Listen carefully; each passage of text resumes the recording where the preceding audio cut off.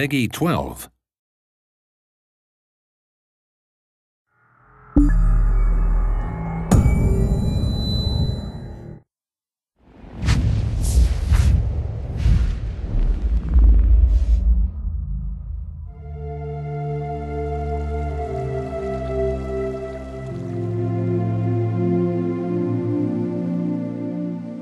With the Elder Scrolls Online, we're bringing two different groups of players together. We got the uh, Elder Scrolls crowd, which is used to great games like Skyrim and Oblivion and Morrowind and the older games. And then we have the MMO crowd, which is used to great all the great MMOs for, from the last 15 years. We're bringing them all together into one great game, and we're really excited to tell you about it.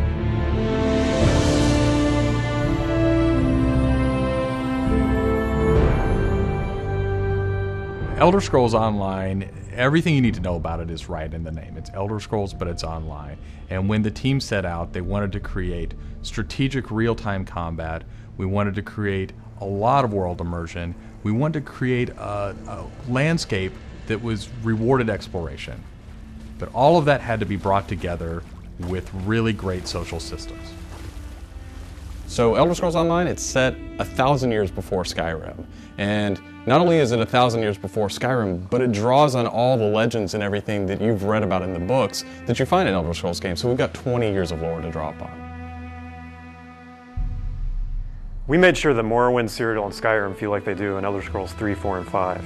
The art style is right in line with those titles. Now you can explore all of Tamriel. You can return to places that you've seen before, and you can explore new places that you've never been.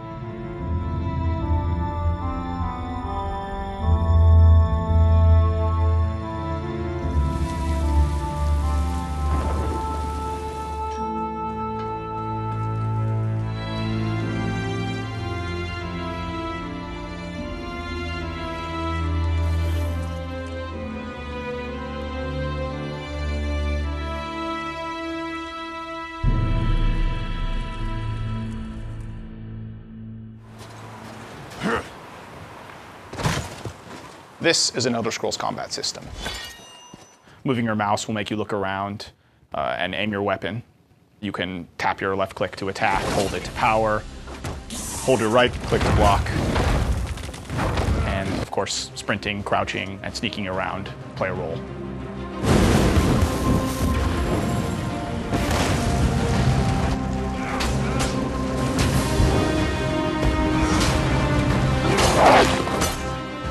All of our characters are designed so that hundreds of them can be on screen at one time.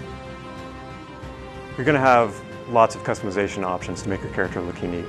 You'll find Dwarven armors, Daedric armors, Elven armors, basically all the types of armor styles uh, and customization options that you expect from an Elder Scrolls game and the Elder Scrolls lore. By far, the worst experience of any online game is at its launch when you're trying to find your friends. Um, you can't find people, you create a character on one shard, and then you find out everyone else is on another shard and you have to move. That experience is not good. So, we are not going to have shards.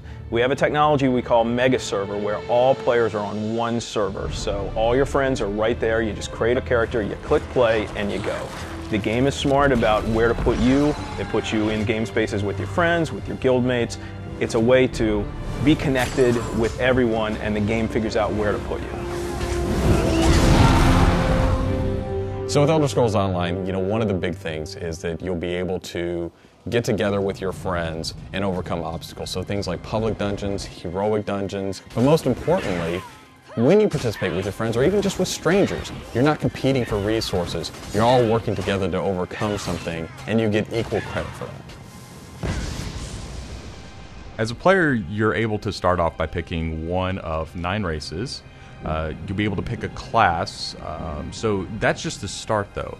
From there, all of the choices you make with quests, all of the choices you make in which abilities you choose, which weapons you use, which armor you use, really help make your character stand out in the world.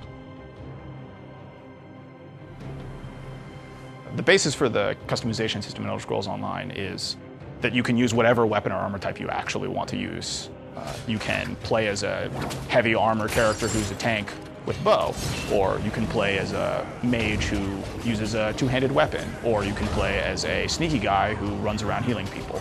But the combination that you've uh, selected out of what armor type you use, what weapon type you use, and what class you use really creates a unique character experience for you. Uh, one of the things you're going to be able to do that's going to make you stand out is you have perks. For instance, perks allow you to become a werewolf or a vampire, or maybe even have special pets. But it's not just about that. There are other things like how you increase your stamina, how you increase your magic, or how you increase your health that really take you from your initial class choice and it makes you stand out because you're saying these are the things that are important to me. This is the way I want to play. This is the role I want to take in combat.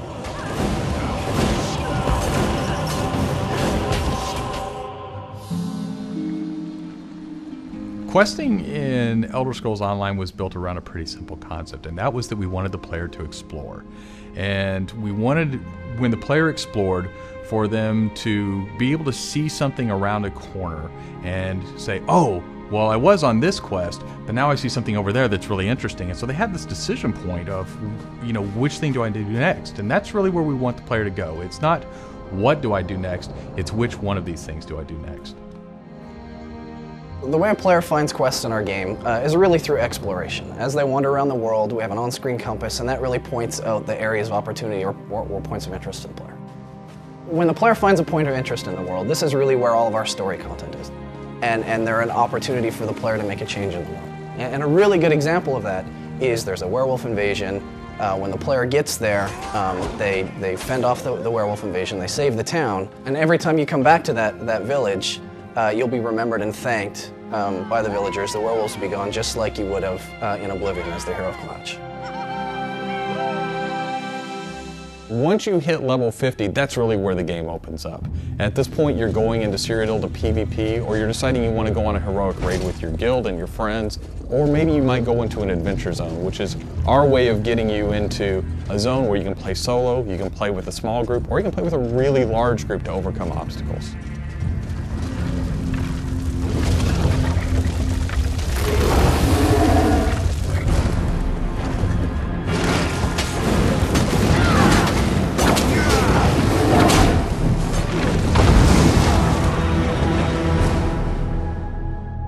PvP in Elder Scrolls Online is focused around taking uh, various structures in Cyrodiil. Uh, if you remember Cyrodiil from Oblivion, the space is very large, and that's a perfect setting for having three alliances fight each other.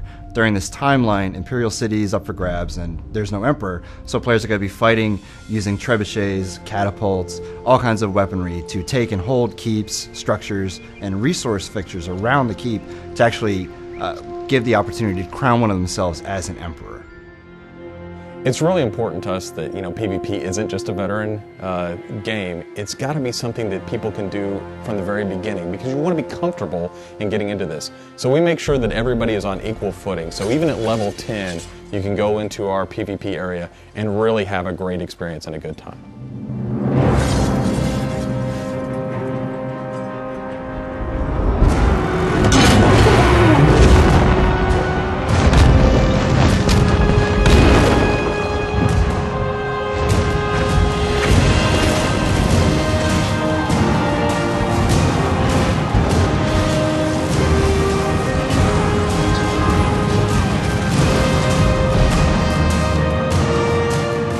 With a game the size of the Elder Scrolls Online, it's really hard to, in one demo, one presentation, one video, to list everything about the game.